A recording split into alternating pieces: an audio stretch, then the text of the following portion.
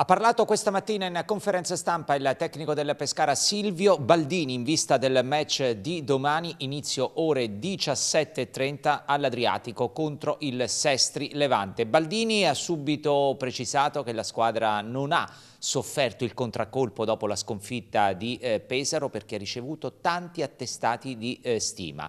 Domani, oltre a Lonardi che si è operato tempo fa al ginocchio, sarà indisponibile anche Erasmo Moulet che si sta curando un problema al polpaccio. Verrà convocato ma tornerà abile ed arruolabile poi dalla prossima settimana. Non è stata svelata la formazione perché nel pomeriggio ci sarà la eh, rifinitura, di sicuro al posto di Squizzato giocherà eh, De Marco e tornerà dal primo minuto in attacco Davide Merola.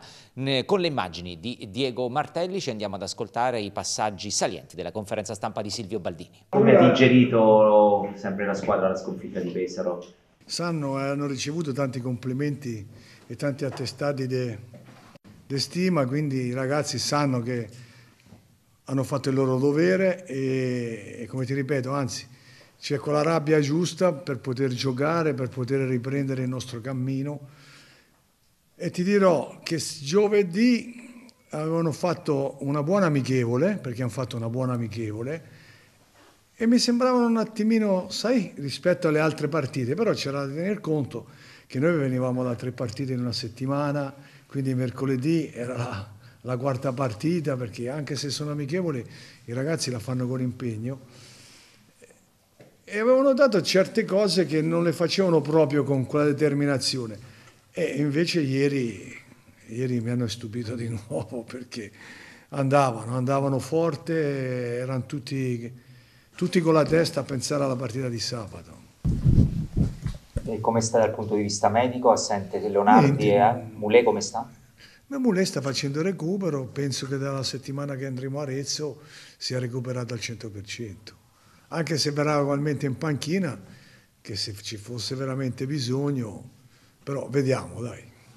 Mister, io le volevo riportare una cosa che poi uscirà nella settimana prossima, anticipato Bentivegna nel corso di una trasmissione ieri. Ha detto il segreto di Baldini è il nostro papà. Le fa piacere questo? Molto, molto. Mi rende molto orgoglioso perché io oh, vorrei essere considerato come io fossi veramente il loro papà, perché io li tratto come tratto, come tratto i miei figli, né più né meno per me sentire queste cose mi riempie di orgoglio.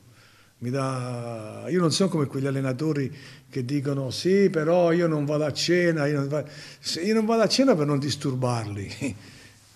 Ma i ragazzi, anche siccome gli ho offerto una cena, no? io ho pagata io a tutti, però io non sono andato perché volevo che si godessero la libertà.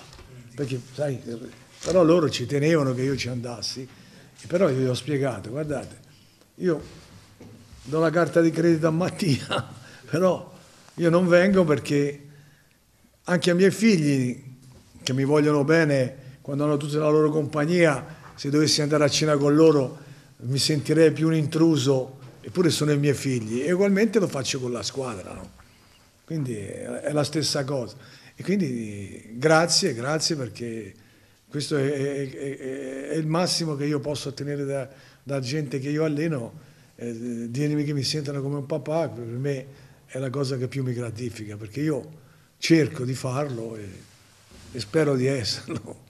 Una, torno a fare una domanda dal punto di vista tecnico. Lei non si è mai soffermato sull'avversario. Eh, io faccio un numero solo per capire se può essere una difficoltà o se comunque non incide sul vostro piano partita. Il Sestri nelle ultime quattro trasferte non ha subito gol e nelle ultime cinque partite solo due, di cui uno sul rigore al 93 con la Ternana. Significa che quelle giocate che ha visto ieri in allenamento devono essere fatte al 100% domani? No, io ti ripeto, qualsiasi squadra che affronto non vado mai a vedere queste statistiche, anche se poi le so, perché lo so che c'è, perché io non voglio condizionarmi a, a pensare agli avversari io voglio pensare a noi, cosa possiamo fare di giusto noi, quali sono le cose che ci rendono, che ci mettono in forma, che ci rendono una squadra compatta, una squadra aggressiva.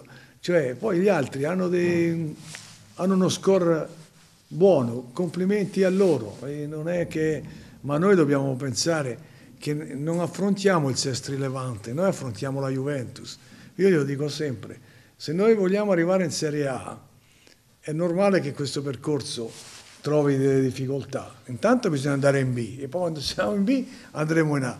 Se io allora gli faccio vedere Milan-Real Madrid per spiegare i problemi che possono accadere in una partita che non è nel Milan, non è Real Madrid, ma è il Sesti Levante, tu capisci che noi non sottovalutiamo nessuno. Anzi, abbiamo messo, i, abbiamo messo a fuoco i problemi ancora dieci volte più grandi di quelli che sono. Però noi non ci deve, dei dati statistici, metterci in allarme. L'allarme c'è sempre, quindi io non devo essere in allarme. Noi siamo contro chi, con chi giochiamo, noi sappiamo che dobbiamo sempre essere quelli lì. Quindi non è un'arroganza, è perché lavoriamo tanto e perché abbiamo rispetto di chiunque affrontiamo. Però se andiamo a vedere quelle cose lì, poi ti condizioni, quando vedi degli errori cominci a pensare, ah ma forse sta a vedere che oggi non è una parte... Invece poi, come è successo col Pontedera, puoi fare quello anche al 96esimo. L'importante è essere come martelli sempre, sempre lì, essere sempre lì, cercare con la massima caparbietà il massimo risultato facendo le cose al massimo. Sugli spazi così stretti, quale può essere quel quid in più? Il quid ci sono tante situazioni, l'importante è saper sempre mettere in difficoltà gli avversari. E mettere in difficoltà gli avversari vuol dire fargli togliere le spalle dalla porta. È come quando un pugile è, nelle, è all'angolo lo devi portare al centro del ring. Se sei bravo lo porti al centro del ring e avrai più possibilità di colpirlo. Se no in quell'angolo lì è più difficile fargli male. E la partita di calcio è la stessa cosa. Io l'ultima mia considerazione la voglio fare sull'attacco del Pescara perché con il tempo si stanno delineando quelle che sono le classiche coppie sugli esterni e al centro.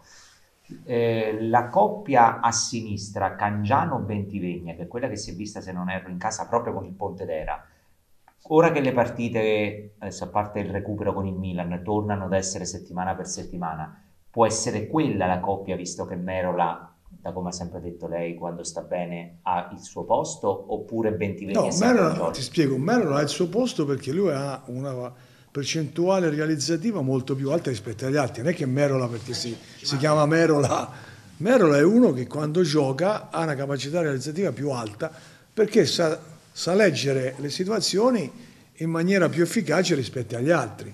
E quindi è normale che se un giocatore ha dei valori in più lo deve utilizzare di più. Ah, dico la coppia sarà Cangiano-Bentivegna a sinistra no, o Bentivegna a sinistra? È uguale, non cambia niente perché non c'è titolare riserve. Noi cerchiamo di mettere in campo quelli più utili in quel momento lì. E come ti ripeto, siccome gli esterni sono quelli che devono lavorare di più, fine, quando finisce la partita avranno giocato tutti, come è sempre successo.